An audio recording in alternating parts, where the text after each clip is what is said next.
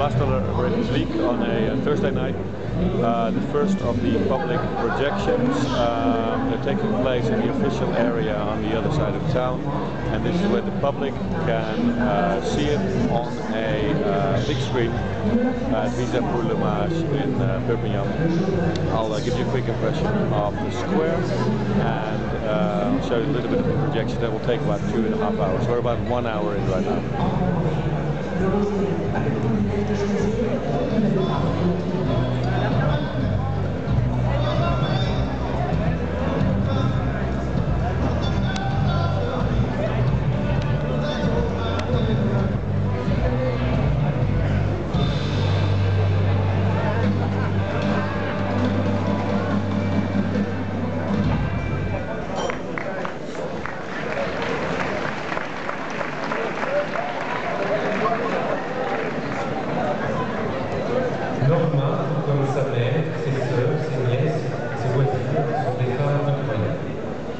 David a fait trop mal, le public de l'étape de guerre